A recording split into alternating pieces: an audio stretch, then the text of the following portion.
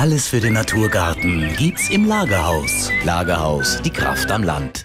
Schnecken sind im Garten das größte Problem für viele. Und sie sind auch wirklich lästig, fressen alles ab und machen den Gärtner große Sorgen. Dabei gibt es auch im Naturgarten viele natürliche Feinde.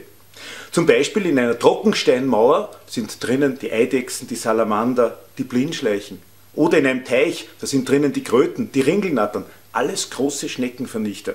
Ja, und wenn Sie beides nicht haben, dann gibt es eine einfache Methode. Lassen Sie das Laub unter Baum, Bäumen und Sträuchern liegen, dort wo kein Rasen wächst. Da verstecken sich nicht die Schnecken drunter, sondern die Laufkäfer.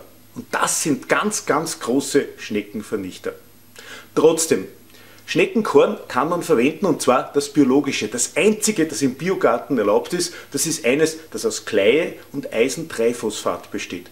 Das streut man am besten zeitig im Frühjahr flächendeckend, denn dann vernichtet man schon die kleinen Schnecken und damit hat man das ganze Jahr über weniger Probleme.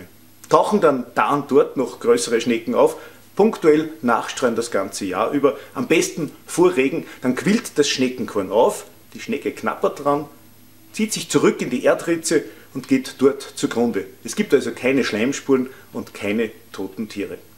Mehr Tipps gegen Schnecke und andere Probleme im Garten gibt es in meinen Büchern. Viel Spaß beim Garteln. Gartenlust statt Arbeitsfrust. Biogärtner Karl Bloberger verrät, wie es geht. Sein aktuelles Standardwerk Der neue Garten für intelligente Faule. Mit praktischen Tipps und Tricks für das Garteln im Takt der Natur. Jetzt überall, wo es Bücher gibt. Viel Spaß beim Garteln.